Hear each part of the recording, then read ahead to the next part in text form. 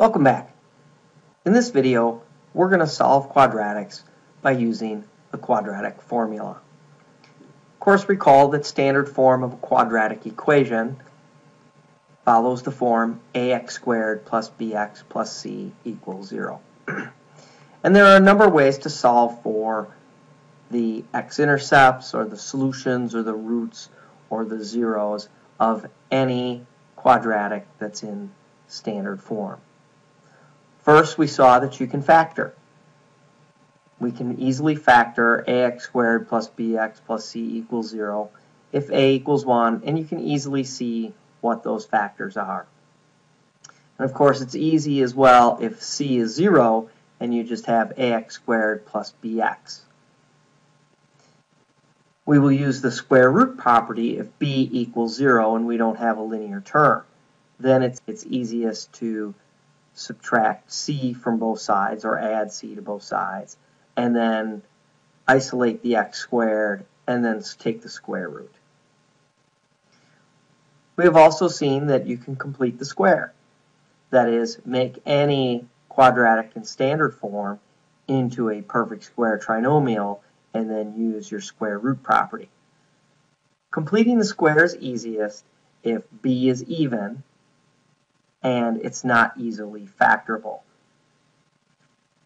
And the final way to solve for the roots or the x-intercepts or the zeros or the solutions of a quadratic is to use the quadratic formula.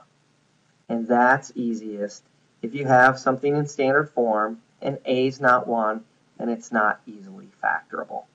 So let's take a look at a quadratic in standard form. ax squared plus bx plus c equals 0. And we want to solve for the x-intercepts. We want to solve for x. Well, we can do this by completing the square. So we can divide, we have to divide every term by a if a is not equal to 1. So we'll divide everything by a, and I'm going to go ahead and subtract c over a from both sides right away. So I've divided by a, and I'm left with x squared plus b over a x plus my blank equals the opposite of c over a. I'll complete the square, which leaves me with b over 2a, because I multiply this times 1 half and I square it. And I will have to add this b over 2a squared to the other side, so that immediately becomes b squared over 4a squared. So my perfect square trinomial here takes the form of x plus b over 2a quantity squared equals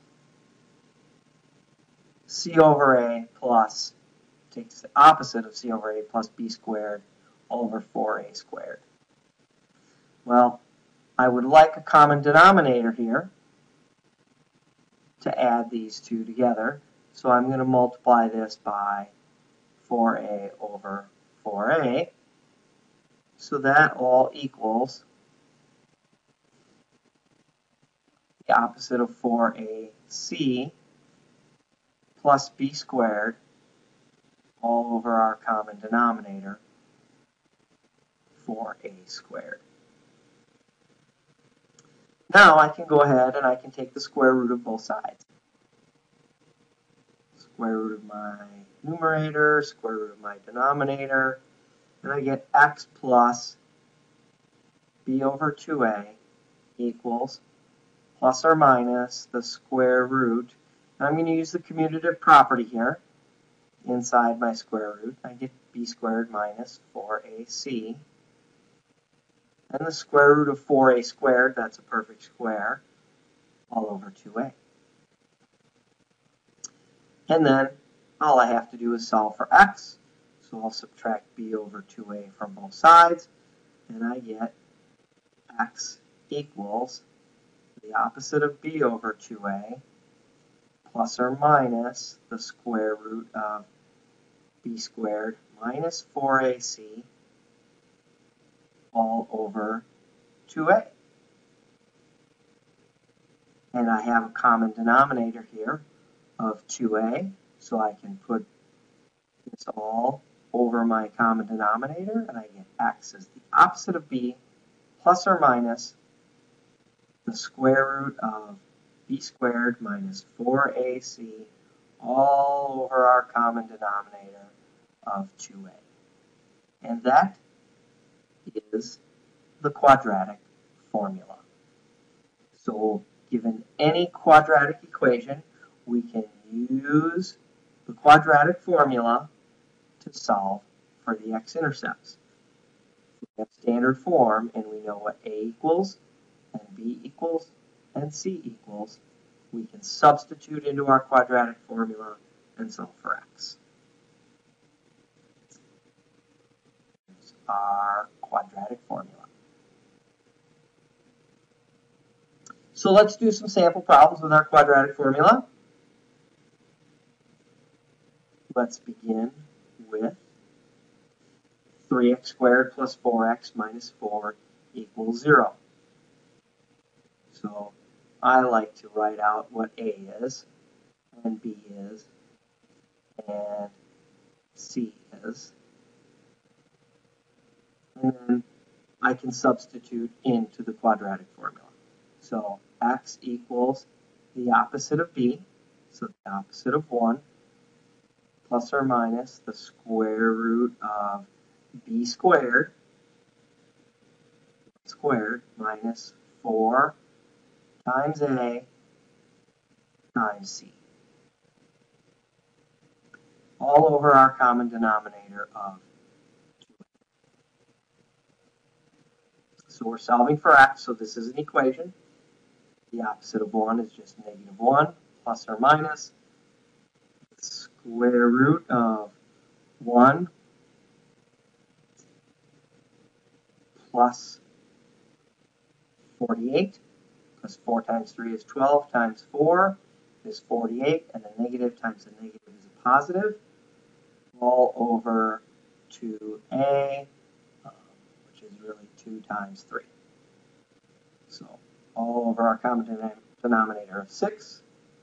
So we get x equals negative 1 plus or minus the square root of 49 over 6.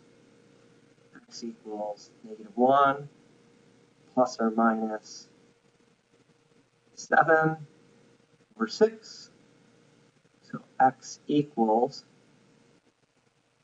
negative 1 plus 7 is 6 over 6, and x equals negative 1 minus 7, which is negative 8 over 6.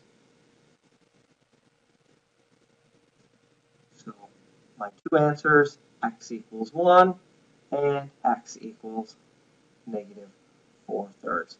So I've solved for the x-intercepts of my parabola it is going to cross the x-axis at 1 and negative 4 thirds, which is about negative 1 and a third. So those are my two x-intercepts.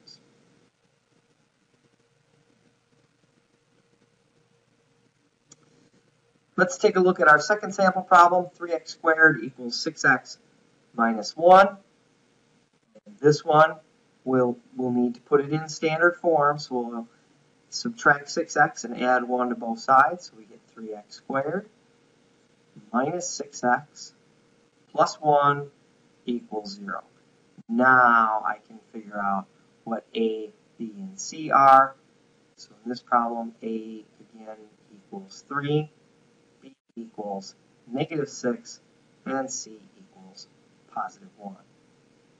So substituting into my quadratic formula, x equals the opposite of b, negative 6, plus or minus the square root of b squared minus 4ac all over 2a. x equals 6 plus or minus the square root of negative 6 squared, 36, minus 12, all over 6. Simplifying further, 6 equals plus or minus 36 minus 12 is 24. So we're going to take the square root of 24, which is 2 times the square root of 6 all over 6. I'm going to factor out the GCF in my numerator, and I get x equals 2 times 3 plus or minus the square root of 6 all over 6. 2 and the 6 simplify, and x equals 3 plus or minus the square root of 6 all over our common denominator of 3.